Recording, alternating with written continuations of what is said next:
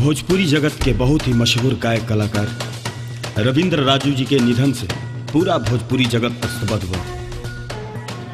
गायक रविंद्र राजू बलिया जिला के भरौली गाँव के निवासी रनी है।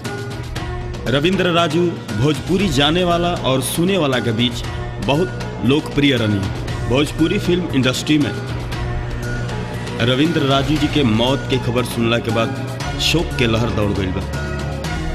भोजपुरी के हर कलाकार अपना अपना तरीका से वहाँ के श्रद्धांजलि दे रहा बने रविंद्र राजू जी के निधन पर भोजपुरी स्टार सोनी परिवार वहाँ खातिर गहरा शोक व्यक्त करता और साथे साथे भगवान से वहाँ के आत्मा के शांति प्रदान करे खातिर बार बार प्रार्थना करता।